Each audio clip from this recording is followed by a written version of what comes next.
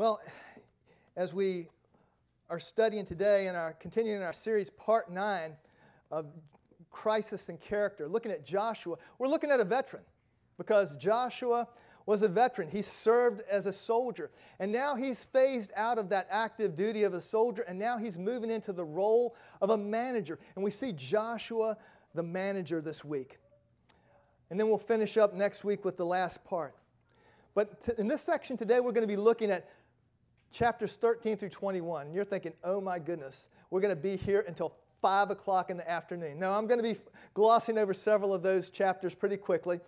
But today we're going to be looking at Joshua as the manager, as he moves into a different role as they conquer the land.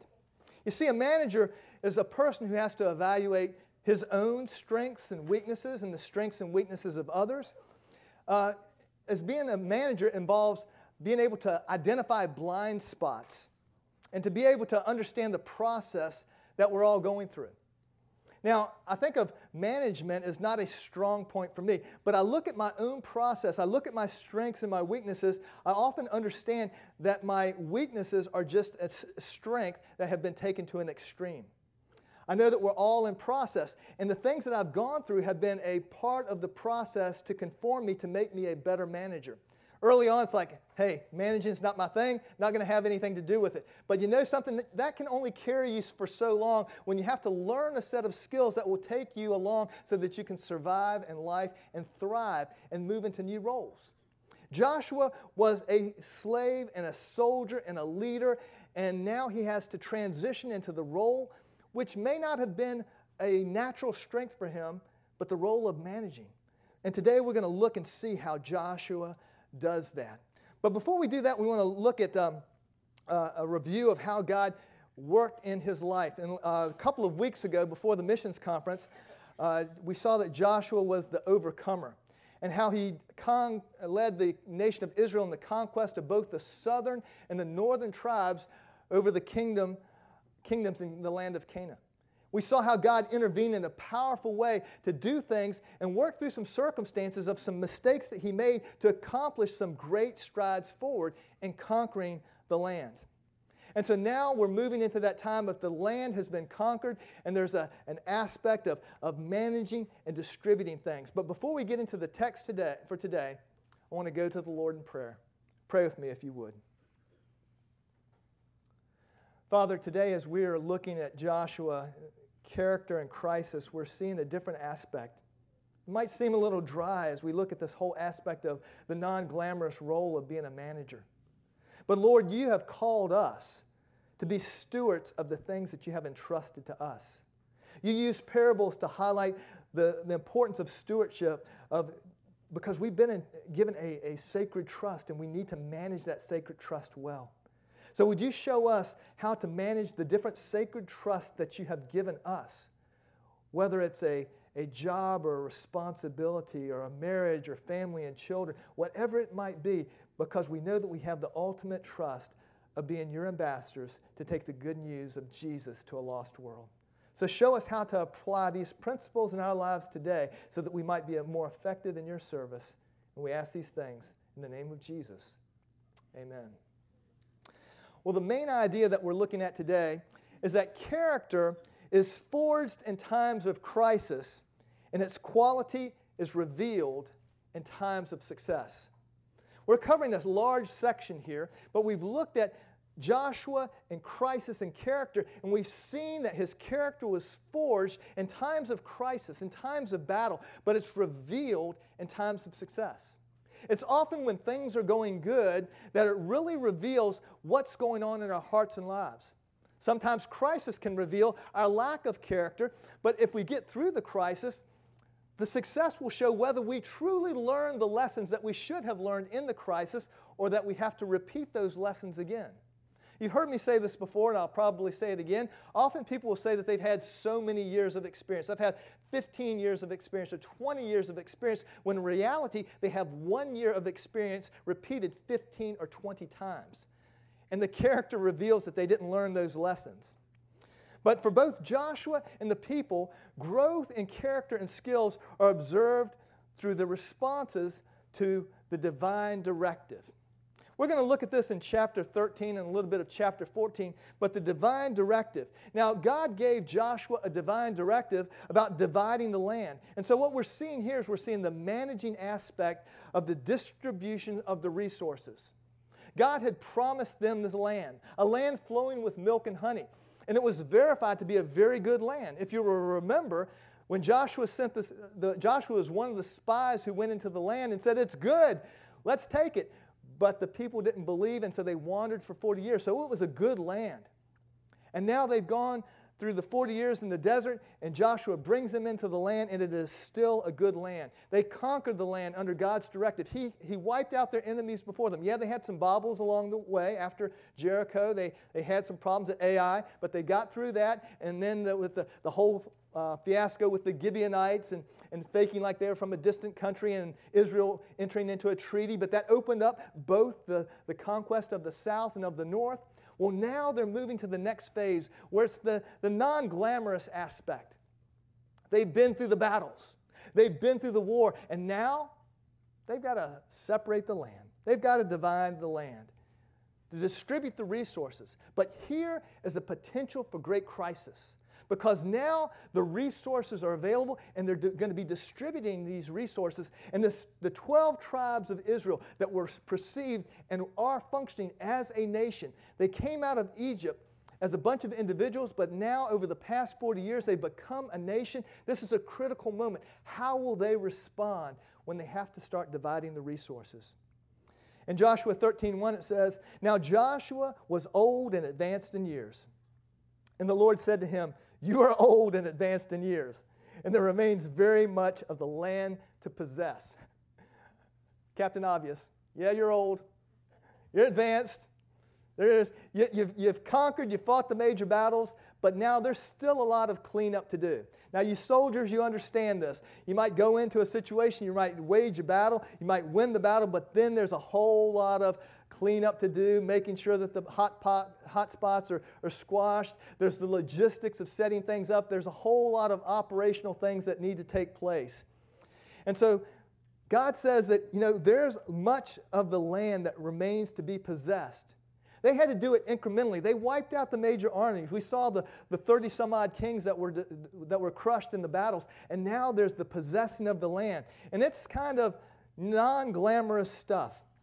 In Joshua 13, verses 6b through 7, it says, The Lord says, I myself will drive them out before you, before the people of Israel.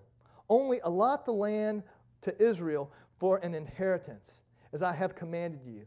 Now, therefore, divide the land for an inheritance to the nine tribes and the half tribe of Manasseh.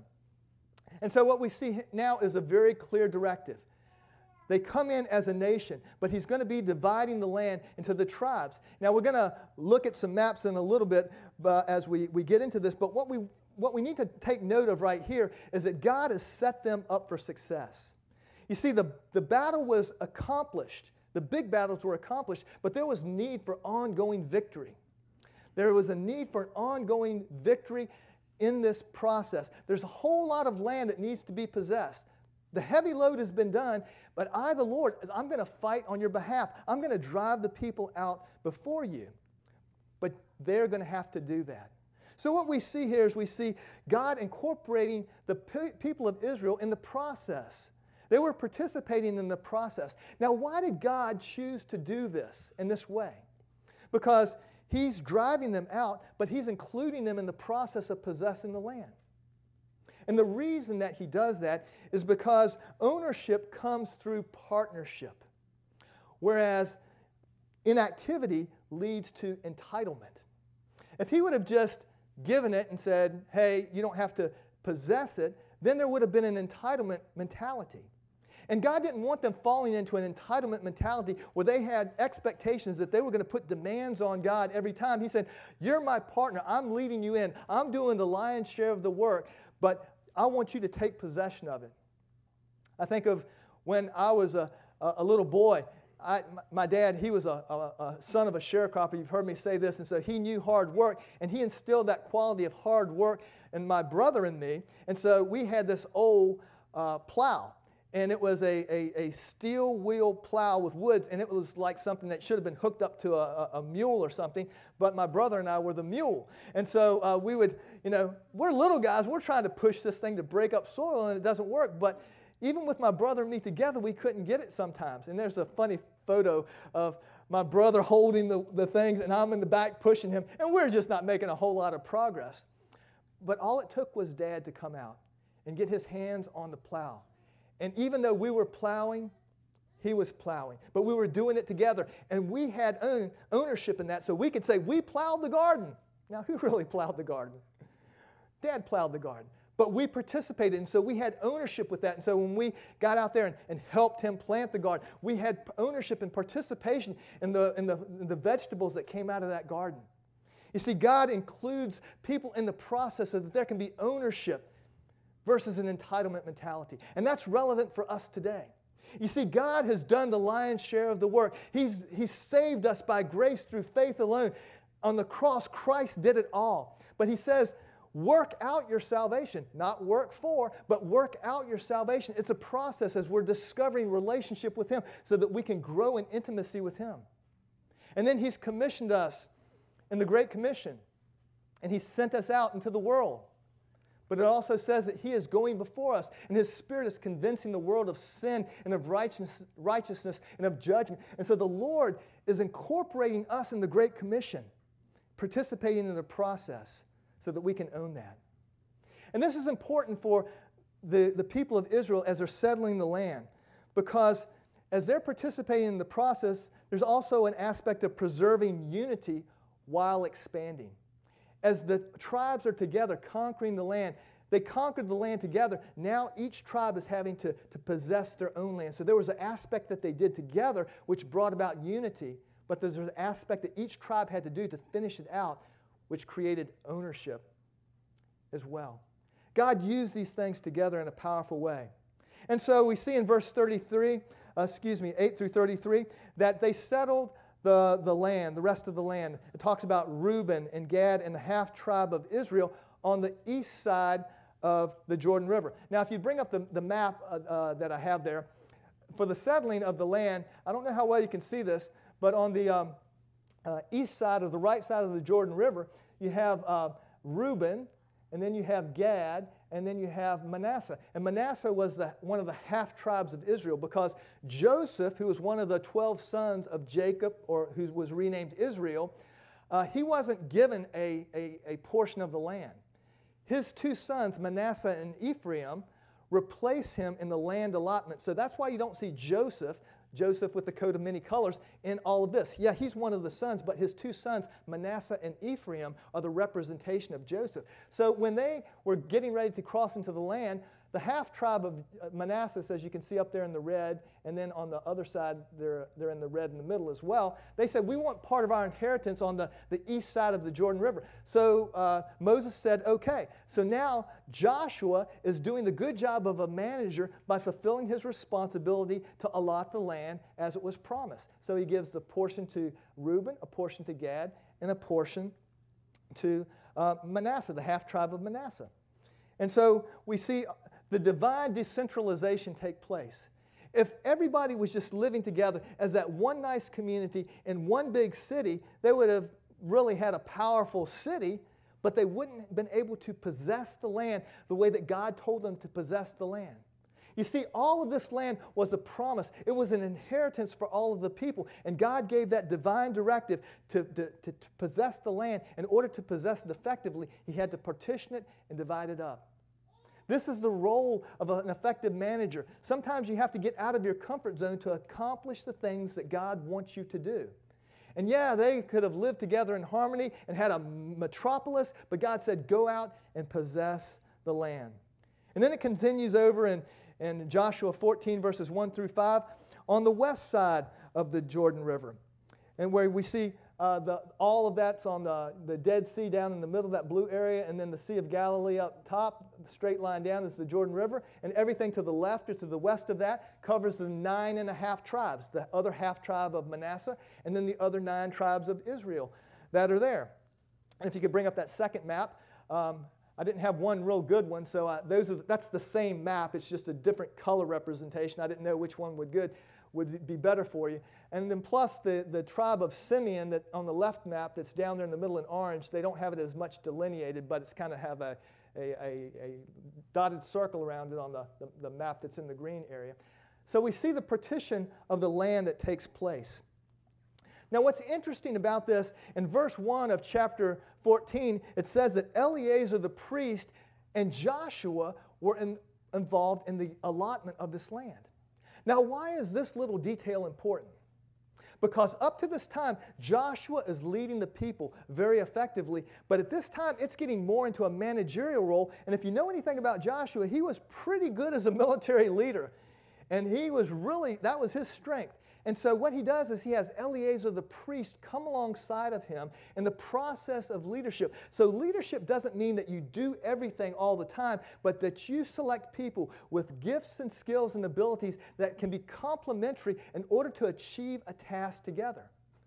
Joshua wasn't threatened by Eleazar the priest. He saw him as an asset and an ally and incorporated him into the process as well.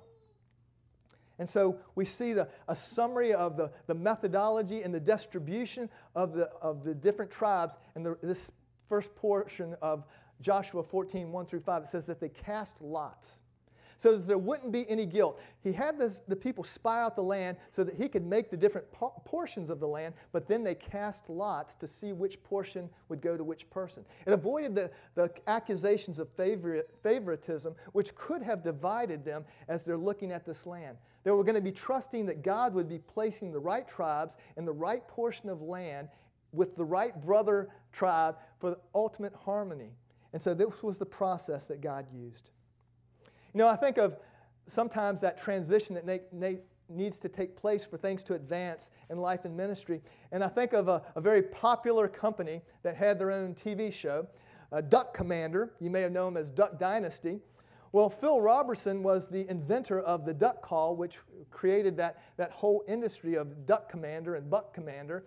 But what happened is, is he, while he had a good product and he started his business, it was his son Willie who came along and was able to take it from a small business to a multi million dollar business and uh, become a popular TV show as well. And so sometimes it's using the gifts and abilities that you have to raise up others and partner with others who can take you forward together. In the church, has to be the same way. That's why we're the body of Christ. God has brought us together with unique gifts and abilities, and we need to manage the gifts and abilities that God has given us and partner together with others so that we can accomplish God's purpose for us. His purpose is the Great Commission, even as Elder Barry mentioned, and so articulately communicated the passion that we have as the Christian Missionary Alliance is to go to places where others are unwilling to go and to reach the unreached people groups of the world with the gospel. It requires management and organization on one level to do the, the groundwork and to be the pointy edge of the sword on the, uh, on the other end. It's a partnership together. And we see following the divine directive is so important. So, the question that I have for you today is how are you contributing to God's plan by your response to His directive in your life? God gives you an ability, and He wants you to use that ability in the local body called the church, and He wants you to use it outside of the doors of the church to reach the community. We are to proclaim Christ. And so part of that is saying, Am I responding to the divine directive that God has given me? To use my gifts and abilities for His glory, to lead others to Christ, to share the good news, and to have harmony and, and, and as we are decentralized in achieving the goals that God has for us. Well, another factor that we look at, uh, which is critical to both leaders and the people, um, as, uh, as in, concerning the desire to finish well, is taking it to the next level and, um, and having a mentality of no retirement. You know, often in our culture, in our society, we look forward to retirement, we plan for retirement, and it's the ultimate goal of stopping work so that we can retire and sit back and relax. Now, please, if you have any pointy objects, put them away at this time. And if you have any blunt objects, please get them out of your reach, reach so that you don't stone me or stab me. But I defy you. I dare you to prove to me and show me from Scripture where it is okay to have a mentality of retirement. Retirement for the Christian is called death. That is your retirement. And so, granted, there's a balance here. Now, our senior saints, you are not off the hook because you've done your duty. At the same time, because you've done your duty and, you, and you're used to leading doesn't mean that you don't make place for the rising and emerging leaders. It's not an either or, it's a both and. There might be some seasons where we step back and, and take things at a little bit slower rate because, as God said to Joshua, you're old. you're old. And uh, you, I, I, forgot the pre- precise words that he said. You're old and advanced in years. And yeah, the older you get and the more advanced in years, you might not have the same energy, but it doesn't mean that you stop engaging in the ministry that God has called you to do. And it also means that you don't try to control things. You have to provide place to coach up and to train up the new people to step up. And so it's a both and, not an either or. It's not that we want to run out the senior saints and we don't want to, to, to, to overcharge the younger ones. We want it to be a balanced working together. And that's the beauty of the body. There's seasons and cycles, and we can come together in a powerful way. But for Joshua, there was no retirement. And also, we see that Caleb, the other spy who went in with Joshua, there was no retirement. Now, Caleb is an interesting fella. I'm going to read you a little bit more about him in verses 14. You're saying, if you're only on 14.6, how are you going to finish up in the next 10 minutes? Well, I've got some uh, rabbits to pull out of my proverbial uh, hat. So Joshua, he is called uh, um, he is confronted with Caleb, and Caleb says he wants to claim the hill country. Now, Joshua has a job of managing people at this time. We read in uh, Joshua 14, 6 through 13. You can follow along on, on screen. And then the people of Judah came to Joshua at Gilgal. And Caleb, the son of Jephunneh, the Kiz, um, Kenizzite, said to him, You know that the Lord said to Moses, the man of God, at Kadesh Barnea, concerning you and me. I was 40 years old when Moses, the servant of the Lord, sent me from Kadesh Barnea to spy out the land and brought him word again as it was in my heart. My brothers who went up with me uh, made the heart of the people melt. Yet I wholly followed the Lord my God. And Moses swore that day, saying, Surely the land on which your foot has trodden shall be an inheritance for you and your children forever, because you have wholly followed the Lord my God. And now, because the Lord has kept me alive, just as he said, these 45 years since the time that the Lord spoke this word to Moses, while um, Israel walked in the wilderness. And now, behold, I am 85. Uh, now, behold, I am this day 85 years old. I am still as strong today as I was in the day that Moses sent me. My strength now is as my strength was then, for war and for going and coming. So now give me this hill country of which the Lord spoke on that day. For you heard on that day how the Anakim were there with great fortified cities. It may be that the Lord will be with me, and I will drive them out just as the Lord said. Then Joshua blessed him and gave him Hebron and Caleb, the son of Jephunneh, for an inheritance. You gotta love Caleb. Man, I love Caleb.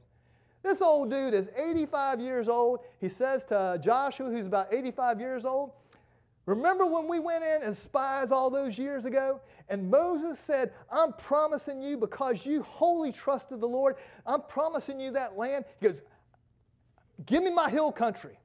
Yeah, I don't care if they're Anakim up there. I don't care if they're in a 45 city, fortified city. I don't care if I'm 85 years old. The Lord strengthened me. He kept me alive, and He's given me the same strength today. I like that attitude. When I'm 85, I want to be like that. You know, nothing, nothing is more exciting than a kick butt 85 year old. Am a pastor allowed to say kick butt? Um, well, I did, so, and it's online. So Caleb, he was consistent in his courage. In verses 6 through 9, we see that he was, when he was 45 years old, he did what the Lord said. He followed the Lord with all of his heart. And because he followed the Lord with all of his heart, he had a promise. He wholly followed the Lord when it wasn't easy. He wholly followed the Lord when it wasn't popular. Because remember what happened when they came back and they gave a good report, and he and Joshua said, Let's take the land. What did everybody do? They got stones and got ready to stone him. You see, there's a good reason that I said, Put down your stones, because when you say something that challenges people to follow the Lord, sometimes it's not popular. Not only do I encourage you to put down your stones, I encourage you to be willing to say the things where others might want to stone you too. But do it not out of antagonism, but out of truth and commitment of wholeheartedly following the Lord. It's worth getting stoned if we wholeheartedly follow the Lord. But Caleb, he was not only consistent in his courage, he was confident in his conclusion. We saw that in verses uh, 10 through 3, where the Lord strengthened him. And see, when the Lord is strengthening you, even if you're 85 years old, he can give you the strength of a much younger man. He can give you the, the strength because it's not about the physical strength, it's about the spiritual vitality, and it's about the trust in the Lord who enables you and empowers you. You could be an 85 year old and be strong in the Lord and be weak physically, but because of the strength in the Lord, He will make your opponents as weak as a 105 year old person. Now, who are you going to pick in a fight? 105 year old, 85 year old. I'll, I'll, I'll, I'll vote for the 85 year old in those situations. So when we put our trust in the Lord, He works out the math in our advantage. And consequently, when you do that, we see that there is a living legacy that takes place. In verse chapter 15, now it's time to, to, to see the speed. So you're going to see me in the next five minutes, next 10 minutes, just, just go through chapter after chapter. Your head's going to be spinning. Chapter 15, we see what ha- takes place with the tribe of Judah because Caleb was from the tribe of Judah. That big section, well, if you remember in your map, on the west side of the Jordan, the lower area, that was the big area of Judah, that in the, the yellow green down low. That was Caleb was from the tribe of Judah, and it gives us specifics of how they went through town after town after town after town. Boy, they conquered that land. They did what they were supposed to do. And in the middle of chapter 15, you have this cool story. Well, I don't know whether it's cool or not. It's, let's put it this way it's not politically correct. So Caleb says, Hey, whoever conquers this, this town, I'm giving you my daughter. Giving, she, she can be your wife. So I know, ladies, that's kind of strange, but it seems like Caleb's daughter was not too put out by that because this guy conquered this town uh, Caleb's daughter was given to him in marriage. And so she boldly comes to her dad, Caleb, and says, Give me this land and give me this spring. And Caleb says, You got it, babe.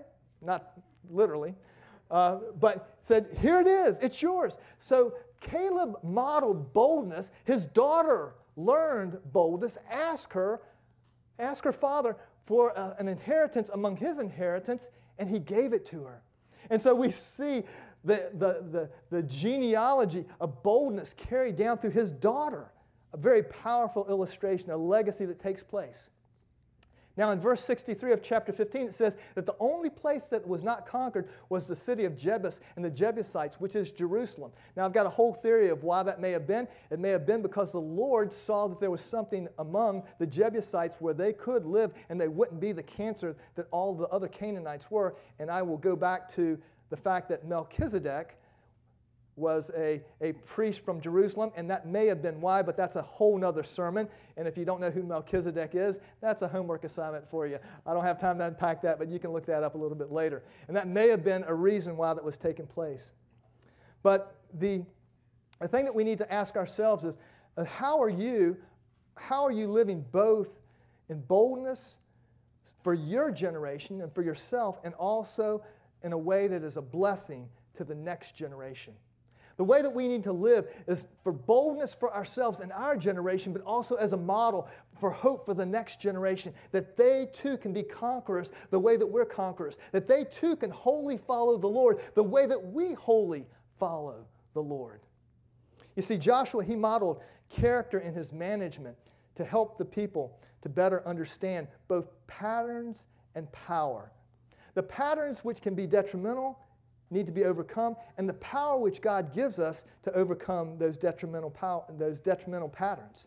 We see the divine directive in part one about managing uh, the, the distribution. In the second part, with no retirement, we saw about managing the people with Caleb. In this section, with the power and the patterns, we're seeing about managing the infrastructure. There was an effective organizational, operational organization that took place as they enter into the land. And we see this taking place. They, were, they had a problem. The children of Israel had a problem, and that problem was with the possessing of the land. And what Joshua does as a good manager is he calls them into accountability. They are called to accountability to define, to follow God's divine directive. They're called into accountability to live boldly the way that Caleb lived boldly. They're called into accountability. Because what they had done is they had disregarded a clear command of God and they had fallen into compromise. The clear command is found in, in Joshua 16:10. It says, however, they did not drive out the Canaanites who lived in Gezer. So the Canaanites have lived in the midst of Ephraim to this day, but have been made to do forced labor. They were told to drive them out, to drive them out completely because they would be a snare but they didn't drive them out of the area of Ephraim. They let them stay and then they put them into forced labor. So they compromised. So rather than driving them out, either wiping them out through battle or chasing them completely out of the land, if they stayed and fought, they would die, and they were told to wipe them out. If they fled, they would have to leave the land completely.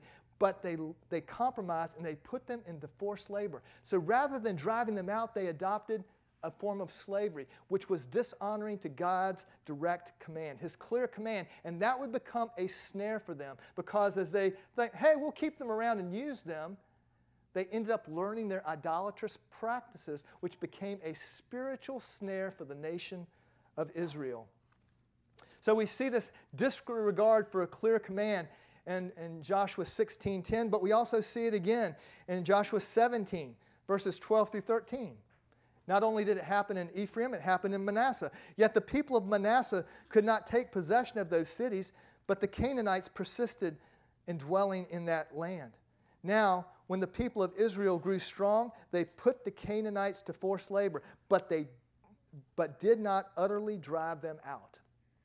Compromise will be the death of us. When we compromise on spiritual things out of expediency, it often results in something that will become a cancer and undermine our spiritual well being and health. What are the areas where you're tempted to compromise in your walk with the Lord, which can cause spiritual damage to the condition of your soul? We need to utterly deal with those things, not play around, but deal with it definitively. Because if we let those things ha- hang around, if we try to say, well, we'll just leverage it for our advantage for forced labor, it's going to ultimately come back to have a detrimental impact not only on us personally, but on the next generation and on the community, both physically and spiritually. This is a danger that we need to be aware of. But we also see not only did they have disobedience to a direct command, and that's why God didn't drive the people out before them because they're operating in disobedience. If they had operated in obedience, the Lord said He would drive them out. But they also had delayed obedience. They were delaying in implementing the clear process that God had given them. Joshua had encouraged them in engagement. He was holding them accountable to the, follow the command, but when, when they were delaying, he was encouraging them to engage in what God told them to do. You know, there is a, a real danger if we make the mistake of thinking something is a symbiotic relationship where both parties are, are mutually benefiting and it's a parasitic relationship. Because symbiotic means that we benefit and there's a mutual benefit. And the tribes of Israel were living in symbi- symbiotic relationship, unique tribes, but blessing one another. But the Canaanites were more of a parasitic relationship and were going to contaminate the people. And so they were trying to leverage and take these people in the land and let it become symbiotic when it was parasitic and was damaging to them. And so their delayed obedience was also part of this parasitic pattern that they had. We see in Joshua 18, verse 3, Joshua said to the people of Israel, How long will you put off going in to take possession of the land, which the Lord, the God of your fathers, has given you? Joshua saying, Hey, God's given it to you. What are you waiting for? Go get it. Why are you putting this off? So he calls them to engage and to do that, but they didn't.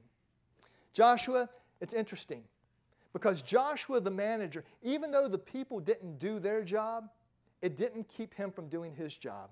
It said in verse 10 of that same chapter that Joshua cast lots for them at Shiloh before the Lord, and there Joshua apportioned the land to the people of Israel, each to his portion, even though they were slow in going to possess it. He said, Hey, if you're not going to go get it, I'm just going to tell you where to go, and it's on you now. And so when we have something that we need to do and it involves others, another person's failure to do their part should not hinder us from doing what God has clearly commanded us to do as well.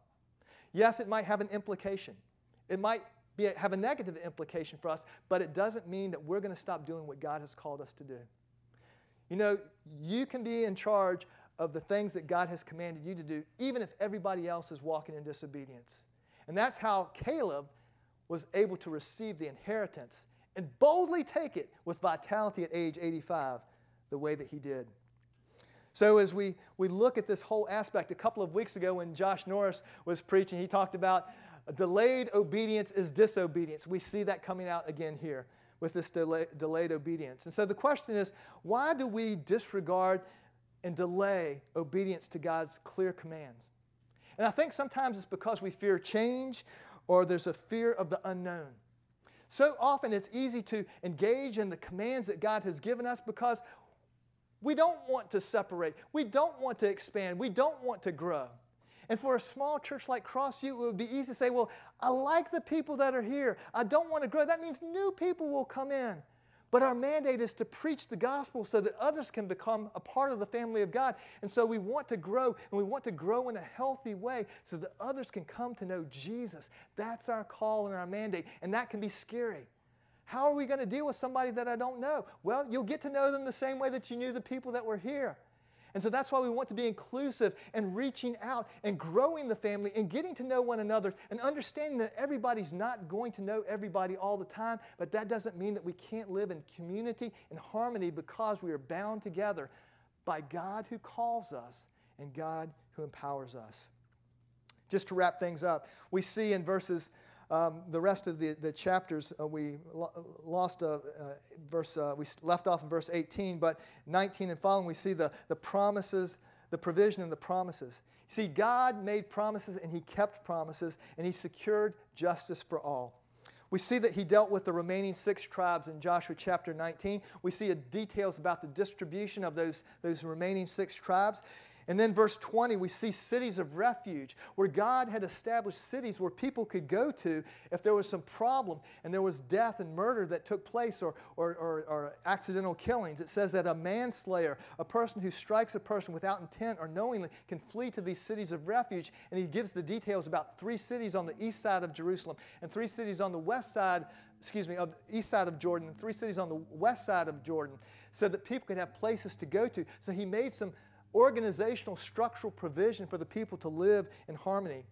Then he, in, in chapter 21, he gives details about the, the legacy of the Levites and how the Levites are one of the 12 tribes of Israel, but they're not getting a land allotment, but they get cities. And the Levites were the, the priestly class. And so he wanted to make sure that there was a spiritual influence throughout all of the land so that they wouldn't be influenced by the, the idolatrous practices of those people who used to live there. So that's why the Levites were given cities all throughout the 12 different tribes of Israel, so that there could be a, a, an assurance of a spiritual reckoning. And then we see finally that within these 48 Levite cities, we see the conclusion of Joshua chapter 21, verses 43 through 45. It says, Thus the Lord gave to Israel all the land that he swore to give to them to their fathers. And they took possession of it and they settled there. And the Lord gave them rest on every side, just as He had sworn to their fathers. Not one of, of all their enemies had withstood them, for the Lord had given all their enemies into their hands. Not one word of all the good promises that the Lord had made to the house of Israel had failed. All came to pass. pass. You see, God is a promise keeper. If there was a problem with the implementation, it was because of the people's aspect of the partnership that God had entrusted him, but God kept his promises of driving them out. And when they walked in obedience, they drove them out utterly, as we saw with the tribe of Judah under the guidance of, of Caleb, their, their patriarch. You see, character forged in times of crisis will be revealed in times of success. And we see the positive aspects and we see the negative aspects of that. So, as managers, as of, of, stewards that God has called us, we need to make sure that we are living into the high calling that He has given us of obedience versus the disobedience, which leads us to become bad managers. So, what is your next step? Well, if you've never come to Jesus, that's the next step because Christ is the beginning of a relationship with God, which leads us to peace with God and to accomplish the purposes that He has for us. If you're a Christ follower, then your next step might be to, to, to repent of a man, retirement mentality and engage in the work that He's called you to do. If you're a, a young believer, it might be saying, I'm not going to look and wait for, for, for the Calebs, the 85 year olds, to do it. I'm going to step up and, and learn under them and begin to take on the responsibilities that I can. You see, there's a place for everybody in the, uh, in the body of Christ, the young and the old. And that's why for membership, it starts at 16. So if we have 16 year olds who want to become members of the church, you are more than welcome to do that. We will find you a place to serve. But the good news is, is that God calls us to stewardship and management and He equips us, and it's all about His kingdom purposes to advance the kingdom of God. And so this isn't just a story about conquering the land. This is a message for us today to boldly step out like Caleb did, to be faithful and in bringing people alongside you to, in areas of weakness the way that Joshua did with uh, Eleazar the priest. But advancing the kingdom because the lost are lost without Jesus and we can be a part of the solution in these last days. Let us pray.